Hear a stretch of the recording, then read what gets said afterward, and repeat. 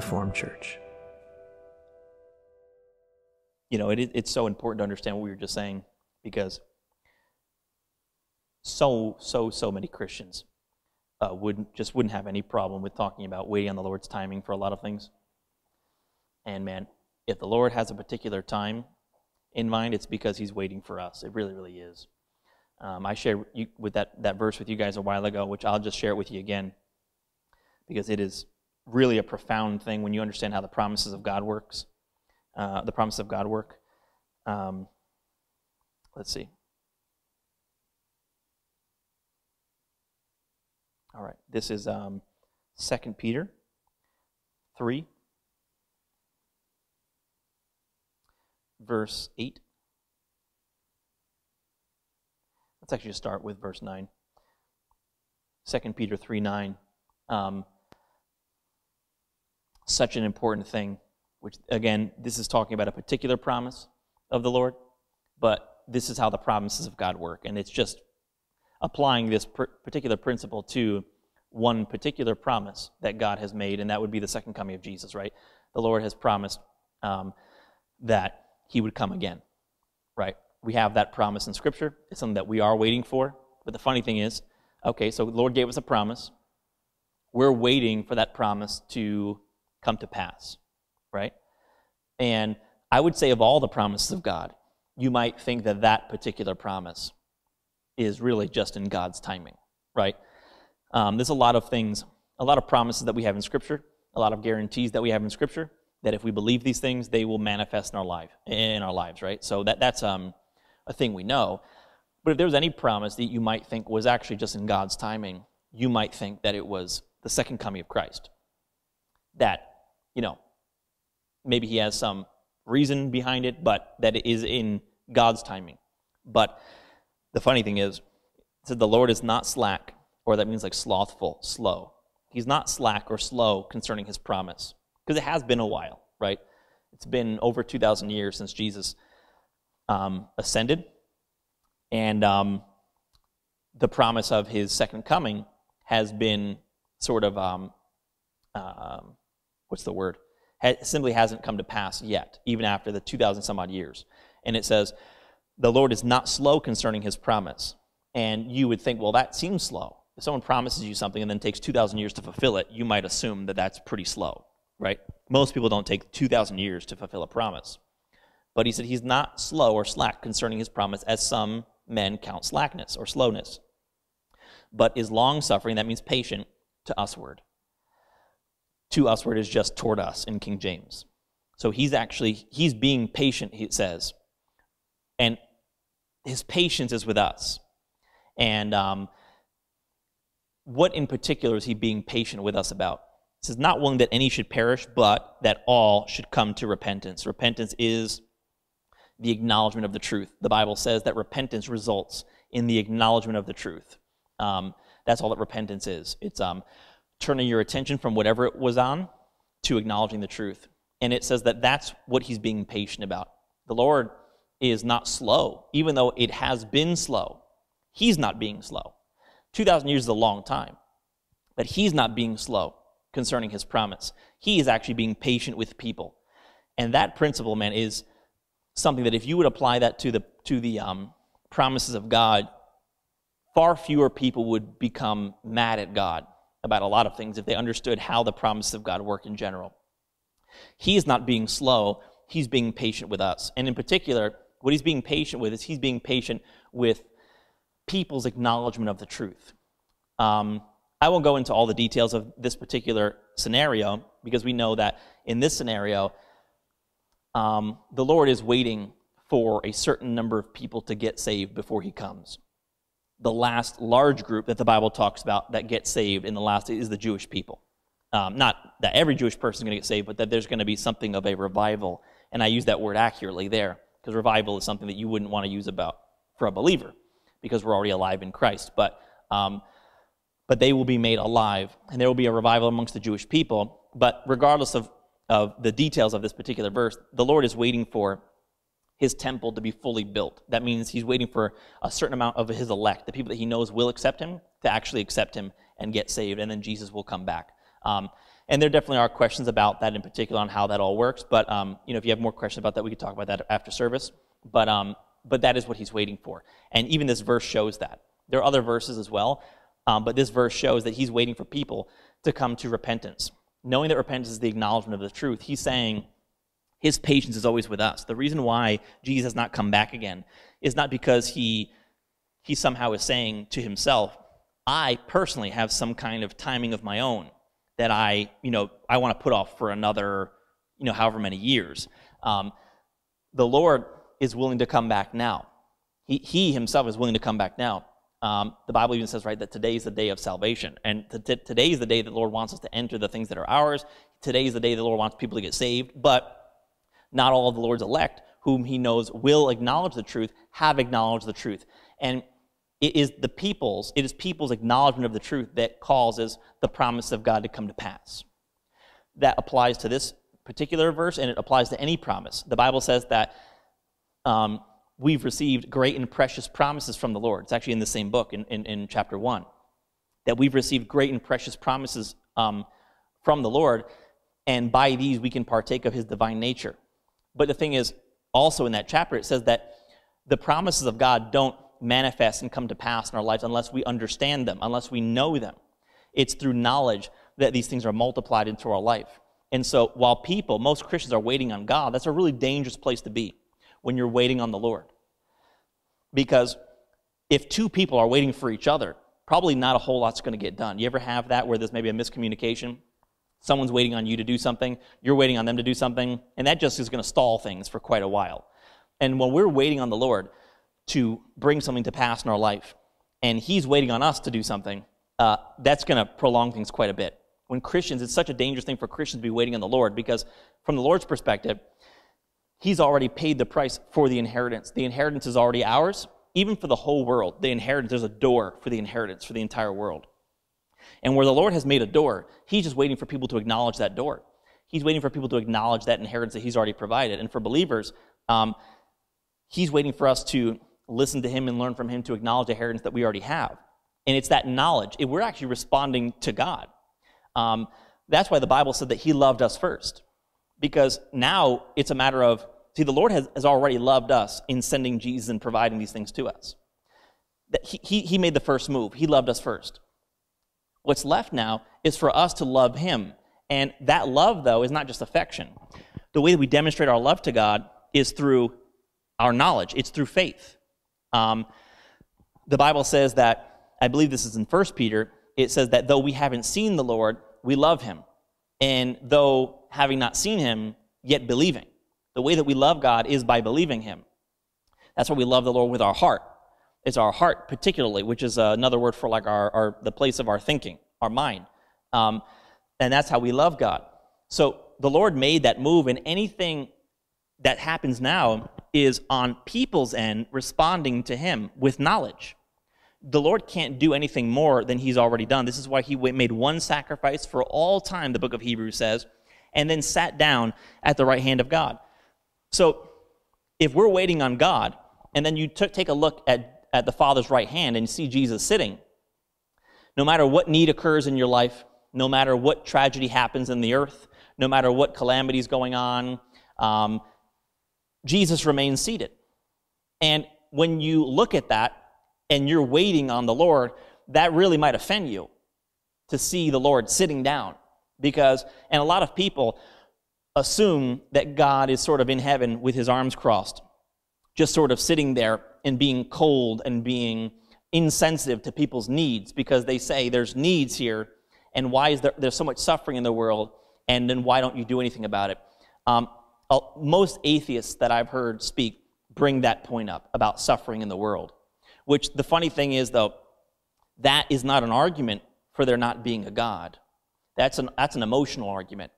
And I think a lot of atheists, um, I, I could talk about this for, for a longer time than I'm going to right now, but a lot of atheists think it's an intellectual position, even though um, they can't disprove that there is a God but they sort of take a stance that no, there is no God. And I think a lot of people think it's an intellectual position, but it's really an emotional position. I really believe that at the heart of that argument of resistance to believing that there is a God is an emotional thing. And I think that's why the suffering thing comes up so much. Because it's more that they feel they've been scorned in some way.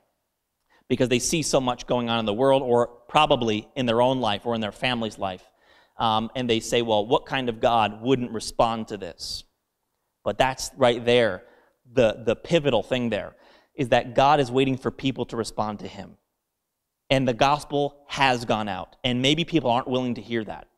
You know, we talk a lot of times about how at Reform Church, the things the Lord has taught us is very different than what you're hearing in the church today. That may be true. But there is a foundational concept, a found, there, there are foundational principles of the gospel that are being taught all through the earth right now on how to receive salvation, to receive it by faith and believing in Jesus. It's distorted a lot of times, but there are people that are teaching that soundly on how to get saved. And the gospel has gone out, and people may be willing to hear it or not, but God is actually waiting for people to respond to Him. Now, here's the, here's the, the part that is sort, uh, sort of missed by most Christians is that they, what, what a lot of Christians are not preaching is that Jesus actually provided the fix to every single problem, every physical problem, that he, he provided that at the cross, right? We know at this church there are only two problems that came into the world through Adam, sin and death, and wouldn't you know, Jesus died for our sins. He covered all the problems of the world. Okay, you may not know how to reconcile that yet with what you're seeing in your life, but you can trust Scripture that when it says that Jesus died for our sins, those are the only two problems that came through Adam, according to Romans 5, and he fixed all of our physical problems. So Christians don't preach that to people. They don't preach that if you will just respond to the Lord, you can receive healing for your body. If you will just respond to what he already did, you can receive resurrection for your dead loved ones.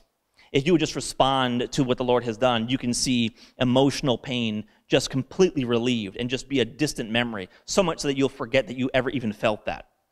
Um, Joseph, even he experienced the Lord prospering him in his life. And he actually says that the Lord made him forget the toil that he went through and the hardship that he went through when he was in, in his younger days.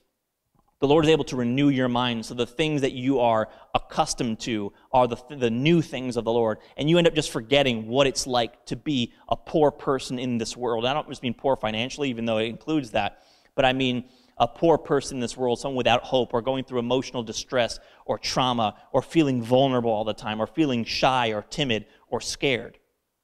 Lord is able to erase those things from your mind. It's called the renewal of your mind. And Christians aren't teaching people that, that all these things are available to you if you would just respond to the Lord. But at the basic level, Christians are generally speaking to people on, uh, on, on, on asking people to respond to the Lord, at the very least for salvation or for salvation from hell, is really what they're teaching a lot of times, or for relationship with God. But I will say, at the bare minimum, and I'm not content with this, and neither should any Christian be, but at the bare minimum, there is a word that has gone out into all the world asking for people to respond to the Lord. And again, it doesn't answer the suffering question very much, but that much is being said. But a lot of people, they, their, their biggest, I think, really at the core of atheism and at the core of hesitancy even toward God are things of that nature. If God, then why this? Then why is this happening in my life? Then why would He let this? Why would He let this? Why would He let this? Because they really do believe that God is letting the things happen and they're waiting on God to respond. And I think that's why I said before that I really believe that if you were to tell people that Jesus is sitting right now, it would just further offend them if they didn't see that in context because they would say, well, that just throws gasoline on the fire to say that all this is going on and he's sitting in heaven but it's because they don't understand the words, it's finished. They really don't understand those words. Jesus really did a great job. That is something that you're not hearing in the church today. The church reserves certain problems as problems that you will just go through. I've never heard a single preacher say otherwise. And I regret saying that, but I've never, the best preachers I know of reserve certain problems to say, well, that's, you know, we live in a fallen world, or whatever the explanation may be there is no problem that Jesus did not fix. Every single problem he fixed. And you know what? That's a great starting point with the, the, example I just gave you about sin and death, you know, all things being categorized under either sin or death. Sin is wrong actions, wrong thoughts, you know, lust and all that kind of stuff. Um, and death is corruption and aging and weakness and being tired and growing weary and being faint. Um, the things that are not eternal but fading, that's corruption. Okay? Everything in this world is sin or death, and Jesus fixed both those things. That, as just a starting place, as a jumping off point, is great because even if you don't know what how to categorize the problem you're going through, to just have the the consolation to know that well, it is fixed though, and being a Christian now is just finding out how. That's an excellent place to be in, and the church is not teaching that. I, I, it is really I, so regrettable that one would have to say that that we have a Savior that came and we're waiting on Him for certain things, even as a church, let alone the world, waiting for God to respond to our problem. And we feel that we pray to God and He responds to us. Meanwhile, our prayer, the reason why the Bible says that in everything with prayer and supplication with thanksgiving. The reason why it says that in Philippians is because he, the Bible says that whenever you pray, you should always give thanks, accompanied, even if you ask for something to manifest outwardly, always give thanks for it also. Why would he say that? Because there's nothing that you can ask to manifest that he didn't already accomplish at the cross. Your, your, your, your supplication, that which means asking, your asking God should never be without thanksgiving.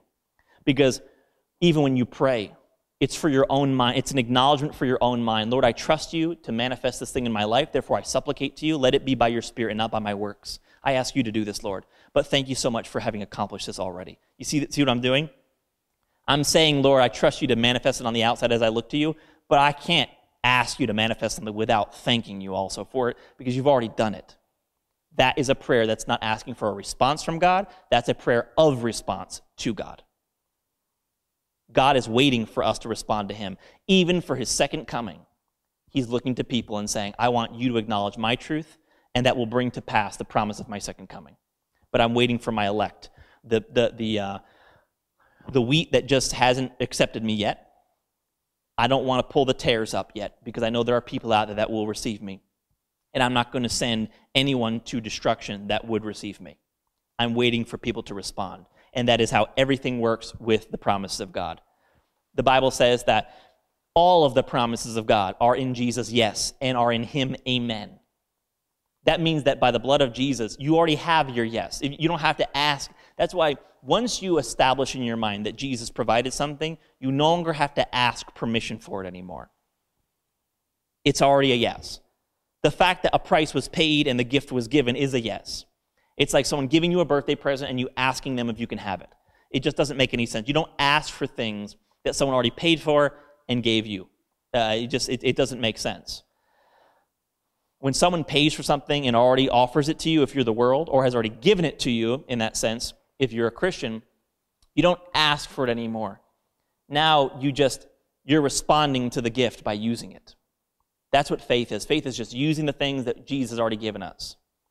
And that's all we're, we're not here right now because we're going to call God down and we need fresh fire or we need a fresh move of God or we don't need any fresh anything. The beautiful thing about Jesus' work is it's always fresh. It's always fresh. It's always, it's always uh, brand new. There's no growing old with it. Um, contrary to popular belief, time doesn't age things. Corruption ages things. Time doesn't. We're just used to, as time goes by, seeing things age or seeing things grow old, but that's not how the kingdom of God works. Things always remain young and fresh and new, um, regardless of the time. And everything that Jesus did is directly applicable today as much as it was yesterday. You don't need fresh anything from God. Um, you just need to respond to what he already did. That's the words, it is finished, um, are sort of the resounding proof for what I'm telling you right now. Because if you were waiting, it wouldn't have been finished, right? And people, a lot of times, their rebuttal to that is, well, no, no, no, I believe it's finished. I just don't believe that he was finishing all the problems of the world. It was just sin and death. But again, if you heard what I just said, you know that is all the problems of the world. People just don't know how to categorize the problems they're going through. They just don't realize that they fall under those categories but we are responding to the Lord. He's all, if there's any time that ever goes by in our life where we're receiving a promise, listen, God is not being impatient with us. I mean, we just read the Lord is patient toward us. And this is not just talking about being patient with believers. In this particular point, he's actually talking about even being patient with unbelievers so they can believe. How much more should we not be confident the Lord is patient with us? He has patience with us. He's not rushing. He knows that um, in our mind renewal process, it does take continuance. Not to mention the fact that we don't always learn as quickly as we can, also, right? Even the pace at which we move isn't always because you know, I've never been distracted with anything. I'm moving and learning as fast as I possibly can. The Lord even knows that even if you're getting distracted, He's still patient with you. And of course, regardless of whether you're distracted right now or whether you weren't or whatever, the Lord is patient with us to learn. But it's a patience with us. You see, if people understood how the promise of God worked, they would look at the suffering in the world and say, you know what? I'm just being patient with people. They'll get the clue soon enough. At least some of them will. That would be the response. Not that I'm being patient with God. Like, what is He doing up there? People, what's missing in the whole logic? The atheism logic of the suffering in the world. What's, what's missing in the logic is the finished work of Jesus. And that's always what's missing. Any doctrinal issue that anyone has is always drawn back to a problem with what you believe about Jesus. If you understood what Jesus did at the cross properly, you would have understood the whole gospel properly because the message of, uh, of, of the gospel is called the message of the cross. It's called Christ and Him crucified, according to 1 Corinthians. It really is. So, understanding Jesus, what just heals all of those things. You wouldn't be asking God to respond or feeling like, why God, why God, or God, why did you allow this? It's, it's all gone. In fact, I wouldn't even have to address it. If you understood Jesus properly, if everybody just understood Jesus and what he did at the cross properly, you would never even have to address those questions about why God, why did God allow this? What's the answer? It is finished. That's, that's the answer. It's always the answer. It is finished. God's being very, see, in, in someone that, you know, the rel- relative that's sick and suffering. Someone very well might be offended at this, but this would be the truth. And they say, well, we're just waiting on God's timing. My response would be, you know what? Jesus finished everything. And maybe I wouldn't say it in this many words to it, but this would be the truth of the matter that Jesus already finished everything and he's just being patient with us. He's being patient with you, with your mom. He's being patient with, with, with us. And that would just be like a uh, such a a, a, a turn. Um, uh, what's the word? Like a, a, a difference of perspective to hear patient with me. How can you possibly say that if I'm going through something, a hardship, that God's being patient with me? I didn't do anything wrong. But it's not about sin or anything, action, having done something wrong. Um, in fact, you might be doing everything right in your learning. You might even be. I mean, I'm not saying every Christian is, but you might be doing everything right even in your learning. And God is still being patient with you because if even just the time it takes to learn, because it takes time to learn, He's being patient with you. Just because you go through something at a particular time doesn't even mean that you even did something wrong in your faith or did something wrong in your mind. And for a lot of people, it is because they have rejected certain truths. But for a lot of people as well, especially, you know, I'm speaking to people at this church, you very well may be learning and growing in the right truth. You're, lear- you're hearing the right stuff, but it but just takes time to learn. And so, therefore, God is still being patient with us. So, whether someone is totally distracted, rejecting Him right now and will come around soon, or whether someone is learning all the right things but just needs time to learn, He's being patient with us. And for those that are learning, His power is toward you who believe. Every Christian knows something about Jesus, therefore, the power of God's already working in every single believer, every single day, at every moment of the day. But we want to increase in that manifestation. All of us do. And therefore, as you learn, this power is toward you who believe. And it will increase, and God is being patient with us. We just keep if you just keep your eyes on the Lord, He says, you know what? I'm being patient. Let's learn. I'm going to keep showing you, keep showing you, keep leading you, keep leading you into all the things that you have on the inside of you. He's patient. He knows it takes time to learn. Even if you're doing everything right and learning and you never got distracted, it still takes time to learn. And he says, you know, I'm going to be patient with the fact that you're learning. And I'm going to keep showing you the truth and you will know the truth, and the truth will manifest that freedom in you. That will happen. That will happen. But if we are patient, we're patient with ourselves. We're never being patient with God, ever. His timing was 2,000 years ago. It's a great point to make to people. God's timing to heal you was 2,000 years ago. And people were receiving it even before that, mind you. But his timing to provide it was 2,000 years ago. His timing to receive these things, in fact, um, even in part in the, in the Old Testament, has been every single day, even before Christ's coming. But his, time, his timing to provide these things was 2,000 years ago, and we are responding to what he already did. And that's why you see suffering in the world today. And that's why even if we go through problems, you know what? I could stub my toe. I can hurt. I can hurt myself in some kind of way. And I don't believe in those things. I really don't believe in those things for me. I don't believe that they're a part of me. And that's all the Lord can ask of anybody. Just don't believe that they're yours. Um, but even so, I know that that's me being patient with myself. That's all that is. Um, and we are learning and we're growing here. Um, but as far as the timing of God, as far as when God would prefer or want us to receive, he already designates a certain day to receive. He already does that. Let, us go over to, um, to Hebrews 3. Hebrews chapter 3. All right. Um, and as I said too, I don't, I don't want to represent as if like, when I say that God's being patient with us, I really mean he's being patient with us, just the way that in the scripture we just read. Because it, this is not as if God is somehow, um, him being patient with us means, like I said before, that it even necessarily means that you're doing something wrong in your mind. Or that God is disappointed in you somehow because he's just kind of waiting around for you. No, he knows it takes time to learn. Like God knows that. The Bible says that it's through faith and patience that we inherit the promises. That means it takes time for your understanding to grow. The parable of the seed and the sower, you see that growth process of the seed before the fruit is born. Um, the Bible says that you have need of patience, so that after you have um, continued, that you would, um, forget the exact wording right now, but that after you've continued, that you would inherit, that you would inherit the promise, that you would receive the promise. I think that's in Hebrews chapter, um, chapter 10. So all of this, you have to understand, it's not God's disappointment in, in, in someone because he's waiting for it does take time to grow, even if you're actually growing. Uh, but he, it, it, is, it is us growing to respond to him, and it's not him needing to respond to us. It really is. It, it really is finished. Um, so there's a lot of context I can give Hebrews chapter 3.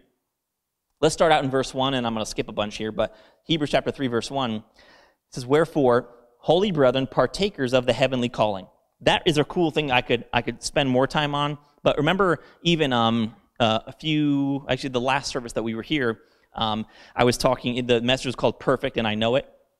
And I was saying that Paul said that he was laying hold on uh, uh, pressing toward the prize for the upward call of God, right? The upward call, and um, that's saying the same thing here. Paul was pressing toward to lay hold on this upward call, another this call to the things of above. He was doing that then, in that time that he was writing it. He was laying hold on the things of heaven. The, the things he was being called to were the things of above. Um, here it's saying the same thing that we can, in fact, partake of heaven. We've been called to the things of heaven, and we are partakers, currently, partakers of the heavenly calling. Um, but let, let's skip a bunch here. And let's go to verse 12 it says, Take heed, brethren, lest there be in any of you an evil heart of unbelief in departing from the living God. Um, notice the subject here is unbelief. Unbelief, um, that's only talking about people that are just not believing in what Jesus did for them. That's all that's talking about here. And it says, But exhort one another daily while it is called today, lest any of you be hardened through the deceitfulness of sin, which I believe that sin is still talking about that same unbelief. And it says, but it says to exhort one another daily while it is called today, um, lest any of you be hardened. It says, verse 14, for we are made partakers of Christ, the way we just read in verse 1, that we can partake of the heavenly calling. We're made partakers of Christ if we hold the beginning of our confidence steadfast until the end. That means it takes continuance in that belief to partake of the things that are ours. In verse 15, while it is said, Today, if you will hear his, hear his voice, uh, harden not your hearts as in the provocation. This is talking about when Israel was in the wilderness and how they didn't believe the Lord. Um, in particular, in the initial passage that sort of he's, he's um, referring to, this is Numbers, I think, chapter 14. The people of Israel were not allowed to enter the land of Canaan because um, of their unbelief. The Bible says in Numbers 14, um, How long before they will believe me? God said. How long before they will believe me? And then he swore that they would not see the land. Okay, there's a lot of context I can give this, but um, let's just read a few more verses and I'll, I'll give you more of that context. So he says, um, Today, if you will hear his voice, harden not your hearts as in the provocation. Again, referring to Israel when he says provocation, and then when, the, when they provoked the Lord, that's talking about their unbelief in the wilderness. And in verse 16, for some, when they had heard, did provoke. Howbeit, not all that came out of Egypt by Moses, but with, with whom was he grieved for 40 years? Was it not with them that sinned? That word sin is talking about unbelief there. And it says, whose carcasses fell in the wilderness. And to whom swore he, or swear he, that they should not enter his rest, but to them that believed not. So we see that they could not enter in because of unbelief. Let's dwell on verse 18 for a second. To whom swear he that they should not enter his rest, but to them that it says believed not. If you switch to New King James, that actually says to them that were disobedient. The word disobedient in the New Testament can kind of go both ways, like uh, not believing uh, something or not obeying something can kind of go both ways. Um, so that should probably say to them that were disobedient. But even that disobedience is talking about their unbelief. But notice that it says that the, the Lord told them they could not enter his rest because they believed not. Or in New King James, they were disobedient. And you know that disobedience is talking about unbelief because next verse, he says, um, So we see that they could not enter in because of unbelief. That was their disobedience that kept them out of the land. But um, the reason why they didn't enter obviously was not because of God's timing, which we're going to read about in just one second. And you can cue up Hebrews chapter 4. The reason why they didn't enter was because they didn't believe. This is actually saying that God had prepared something for them to enter, which I'll explain probably briefly in a second. God had prepared something for them to enter, but they didn't enter because they didn't believe. And in fact, God said about these people, and again, these people were just, they were unbelievers and they just refused to understand the gospel. So they were kind of on, fully on that end of the spectrum. But God said, How long before they believe me? That doesn't sound like somebody who Israel was waiting for. This sounds like someone who was waiting for Israel. How long before they believe me? I've shown them my word. I've given them my word by Moses, and they haven't believed me. I've confirmed this, the gospel, through even signs and wonders throughout their stay in the wilderness, and they haven't believed me. And how long until they believe me? And then it says in uh, Hebrews chapter 4, verse 1 Let us therefore fear. Now, this is talking about people that might refuse the gospel, but it says, Let us therefore fear, lest a promise being left, left us of entering into his rest, any of you should seem to come short of it. Um, let me see real quick. I just want to see if I um, get to a particular verse here. Look at verse 6 real quick.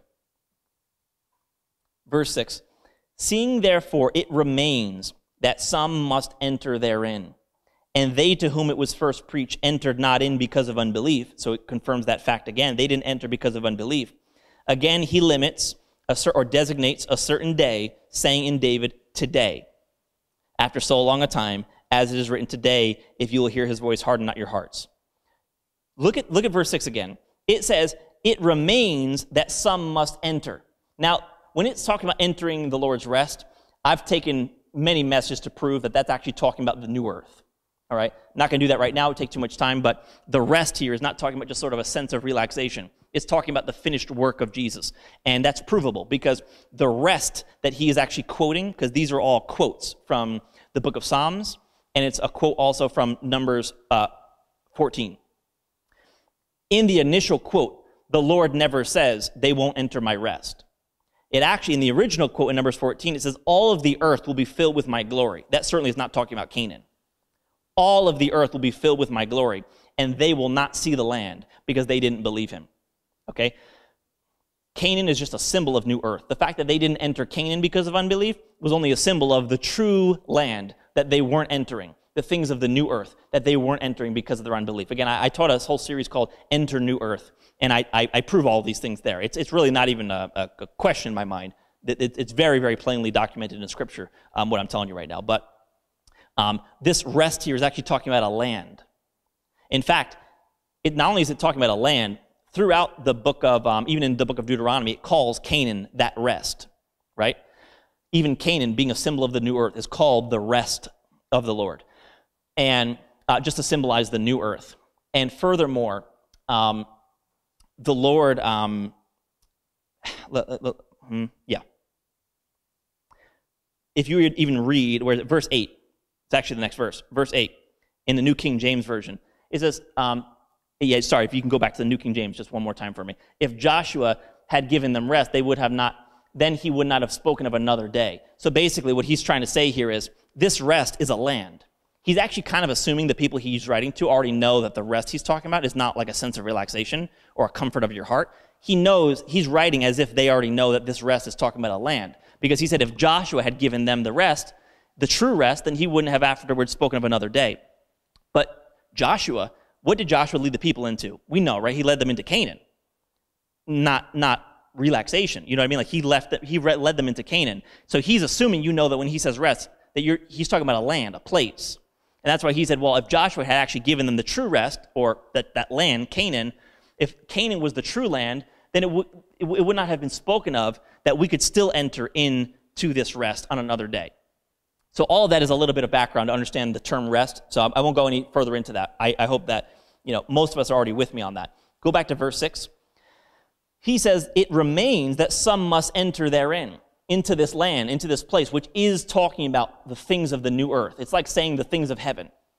Uh, that's why he started out in chapter 3, verse 1, saying that we can partake of this heavenly calling. And here it says, it remains that some must enter therein. In other words, there is a promise left. There is access left for people to enter this rest. People, it turns out, people just don't enter what Jesus has already provided, his finished work and his rest.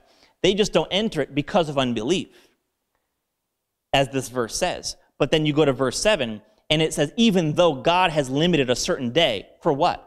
For entering the rest. It said there remains a day to enter, there remains um, uh, that some must enter this, this, this inheritance that the Lord has provided. We'll just call it the inheritance for now.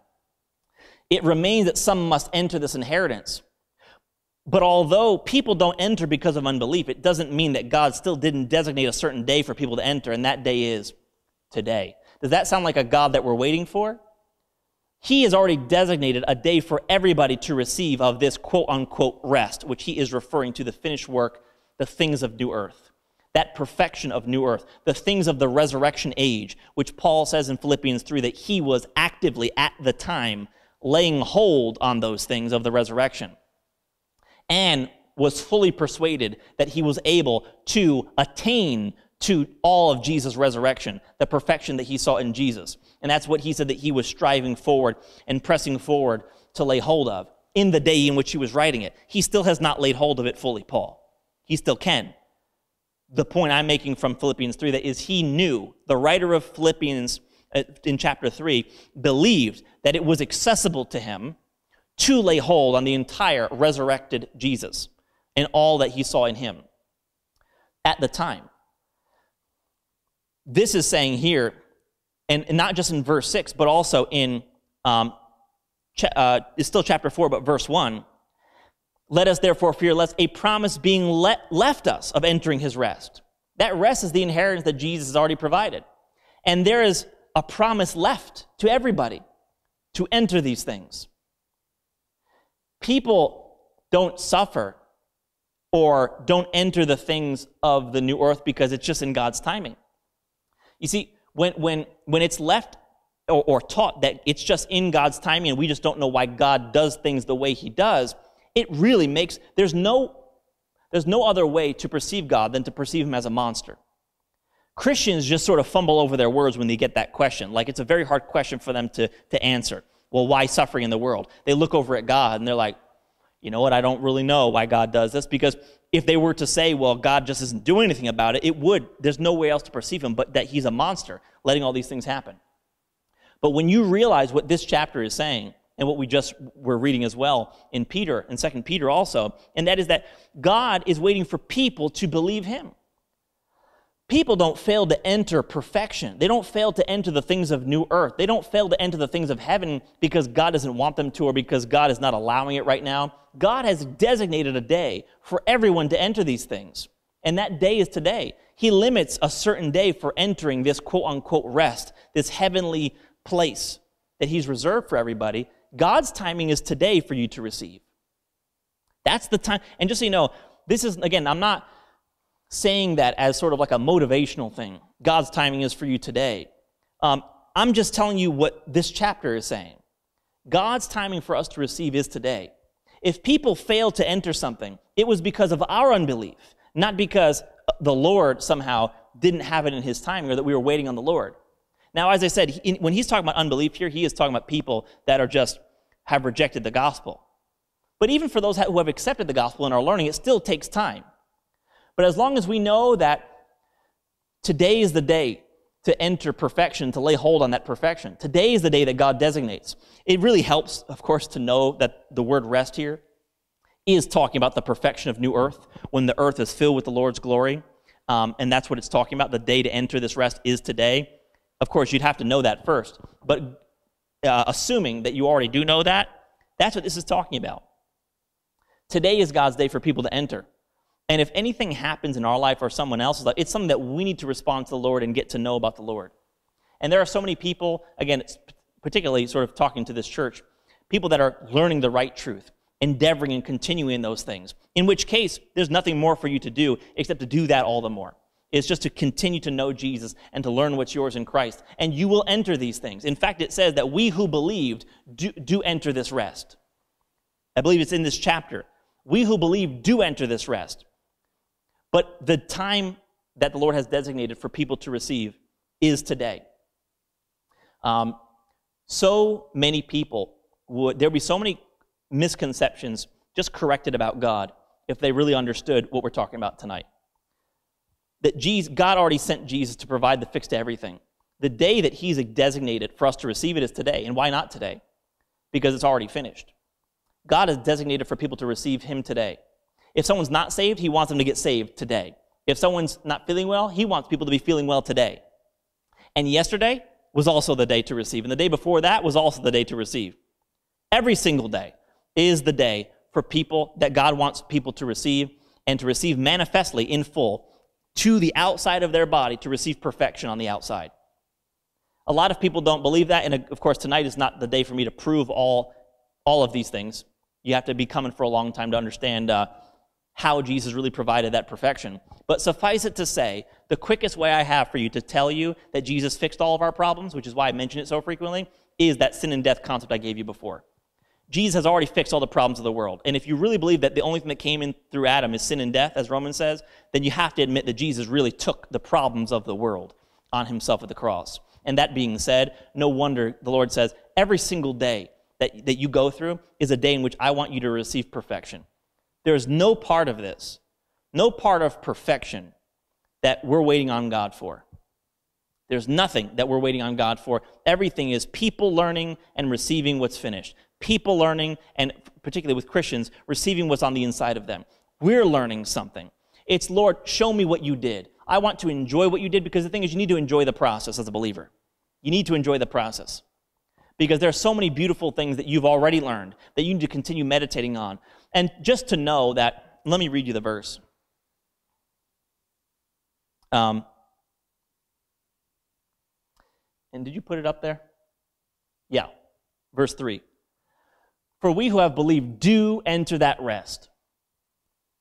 The encouragement to know that if you will believe the Lord and if you will continue in the truth, you do, ent- you do enter the rest and will continue to enter that rest. Continue to enter the things of new earth. Continue to enter and lay hold on the perfection the Lord has given you.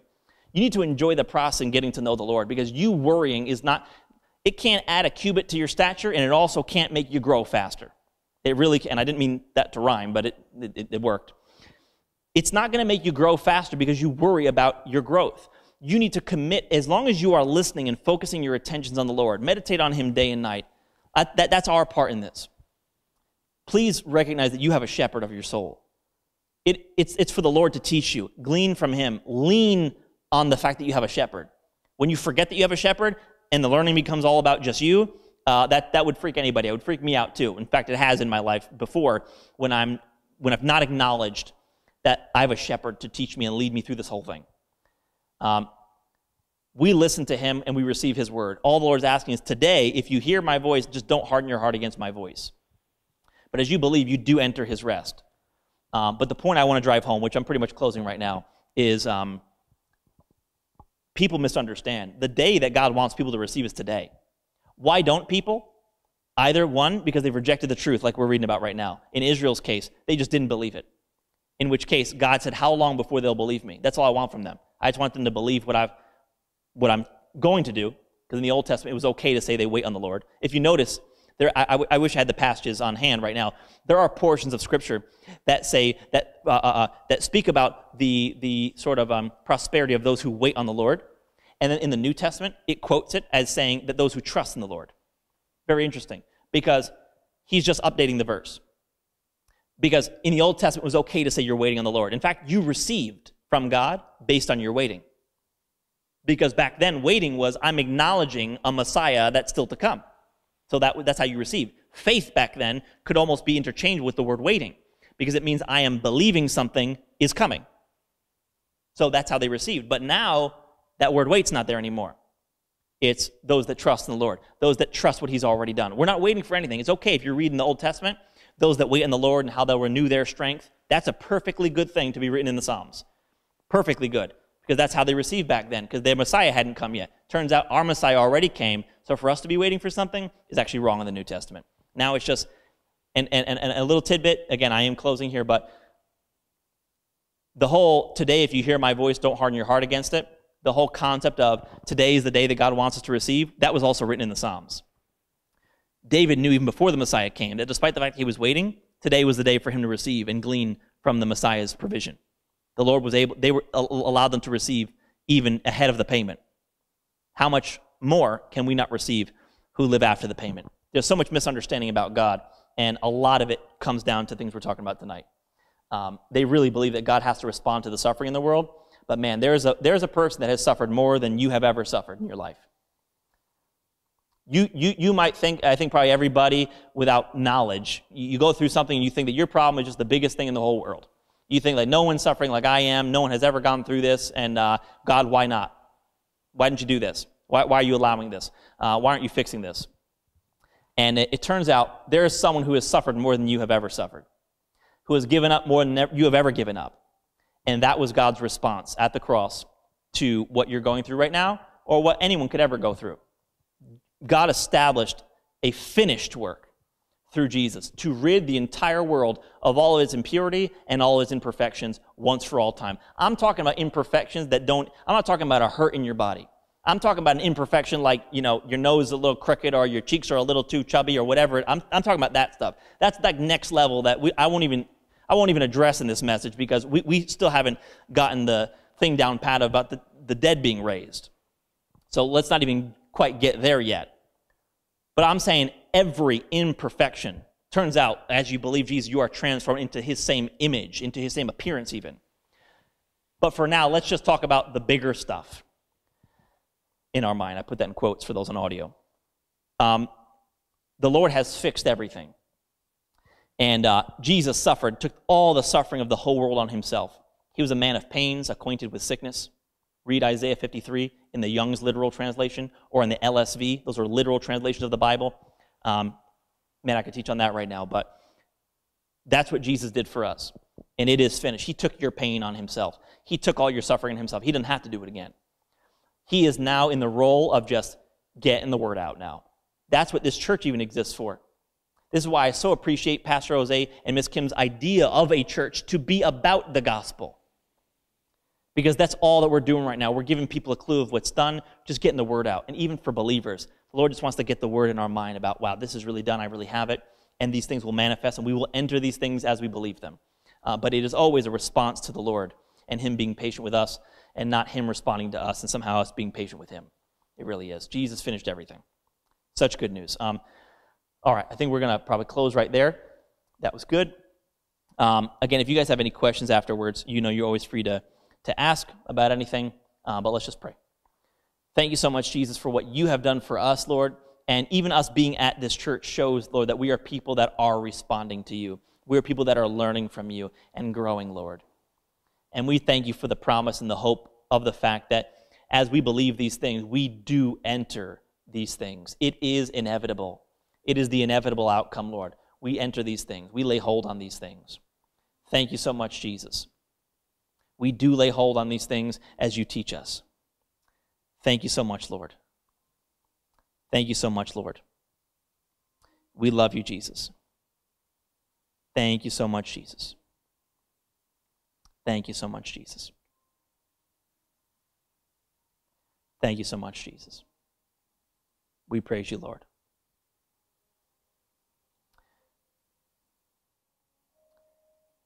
Thank you, Jesus. You know, let me just interrupt the, uh, the prayer here. If we can just bring the lights up again. Um, I, want, I, want, I want to leave you with this because this, I think, finishes the thought. We just read this recently, and I just want to read you a couple things from this, and I'll let you go. the whole time today we've been talking about um, when. When does God want people to receive? It's a time thing. We've been talking about this entire service, right? That it's, it's today. God wants people to receive today. That's God's timing, right? We've been talking about the timing of God. Um, but also, it's, it's sort of like this. This is the way I was seeing it when the Lord was showing me. It's um, yes, all of it, yes, now. Because those are two things that are not understood by the church. Yes, now is the timing part. Yes, God wants it now, not later, now. If there's ever anything that is put off, it's because we're learning or other people are learning. It's, it's, it's people's learning and quote unquote repentance, right? So that's the now part. Yes, God wants it now. And, but, but how much now? All of it. That's why he, when he, the word rest, it's important to know that that's the new earth because that would basically mean enter into his perfection. But I just want to remind you of something that we read um, last Sunday or the past Sunday we were here in, uh, in, in, in Philippians 3.10. Paul talked about knowing Jesus and the power of his resurrection. And, and there's, I, I told on that in that message, um, perfect and I know it. But he says, that I may know him in the power of his resurrection, the fellowship of his sufferings. The fellowship of his sufferings is talking about being crucified with Christ, being made conformable to his death. But notice that it it's his resurrection. The, the, resurrection he's referring to is Jesus' resurrection, right? That's the thing we need, it's important to carry from that verse. His power, the power of his resurrection in verse 11. If by any means I might attain to the resurrection of the dead. That means that he believed he was able to attain the power of Jesus' resurrection. This is not talking about inside of him. This is talking about manifesting it. That's what the word, when he talks about attaining it, that's what he's referring to. You can listen to that message for, for more information on that. Verse 12 says, Not as though I'd already attained, either already perfect. Of course, he's only talking about, as you would know from listening to that message, that he's talking about on the outside, that he had not attained to all of it on the outside, to seeing all these things perfectly on the outside, but he followed after, um, if that I may apprehend that for which I am also apprehended of Christ Jesus. He literally, again, I, I can't recommend that message enough to answer uh, this question further, but this passage, if you follow the whole thing through, Paul understood that he was able to attain the power of Jesus' resurrection. Later on, he says he already knew he had the perfection on the inside of them, on the inside of him. He already knew that he had um, already attained everything on the inside of him. When he says that he hadn't already attained or weren't already, wasn't already made perfect, he's only talking about the outside. So this sort of answers that other question uh, as to how much of the inheritance. We already got the timing down, Pat. When does God want you to receive the inheritance? Today. So, yes, now. How much of the inheritance? Because people will say, okay, yes, today I'll give you that, but some of it is reserved for when Jesus comes back. Or we will go through certain things because we live in a fallen world. So, how much of the inheritance can we receive today? And Paul says here that he believed that he was able to attain perfection and that God had encouraged him to lay hold on perfection, the perfection of Jesus' resurrection. Again, I will leave the explanation of this to that other message I recommended you, um, but I just want to sort of leave you with that as well. Because Hebrews 6 says the exact same thing. That in everything that Jesus has already entered, our high priest, our forerunner, is that we have strong consolation from God to lay hold on that hope that is set before us. That hope is referring to Jesus' resurrection. If you follow that passage in Hebrews 6, it's talking about everything Jesus received in his resurrection, and we have strong consolation from God to lay hold on those things. If you want a, a simpler verse, here's the simpler verse. For people that don't understand anything I just said, here's the simpler verse Ephesians 1 it says that the same power that raised Jesus from the dead is toward us who believe. That's very simple. You want a simpler verse to even give someone else? Stick with Ephesians 1 then. The power that raised Jesus from the dead. The power that raised him as he is. No one would deny that Jesus is perfect today. No one would deny that Jesus is not feeling pain anymore. No one would deny that he's in perfect appearance and perfect health and perfect everything right now. And that's the power that's toward us as we believe.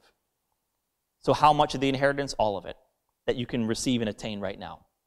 And when? Today. So important. God's not holding anything back. He provided everything, gave you access to everything, and it's just us getting a clue of what's already been done. And thank God that the people that are here right now, that's what's, that's what's going on here right now. We are endeavoring to do that, and we just need to continue to do that all the more and tell other people about it. That's the Holy Spirit's ministry on this earth right now, is tell everybody what I already did so they can respond by believing me. We hope you enjoyed this message from Reform Church. If you have, please share this with someone else and help us get this uncommon truth out to the world. If you'd like to support this good news, you can do so at reformchurch.com/give. Also on our website, you can take advantage of our free messages, articles, and even full discipleship courses. Start reforming your mind now at reformchurch.com.